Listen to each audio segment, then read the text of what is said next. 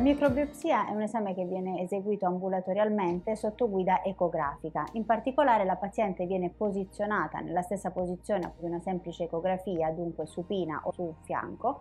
Si procede dapprima a localizzare la lesione sotto guida ecografica e successivamente si effettua dapprima l'anestesia locale e dallo stesso punto dell'anestetico entriamo con un aghetto leggermente più grande che ci consente di prelevare dei veri e propri frustoli di tessuto che fissati in formalina vengono poi inviati all'anatomopatologo per l'esame istologico. Questo ci consente sia una diagnosi di natura del nodulo, dunque di identificare noduli benigni e maligni e nel caso poi specifico dei noduli maligni ci consente anche di effettuare ulteriori valutazioni che sono poi fondamentali per il successivo iter terapeutico.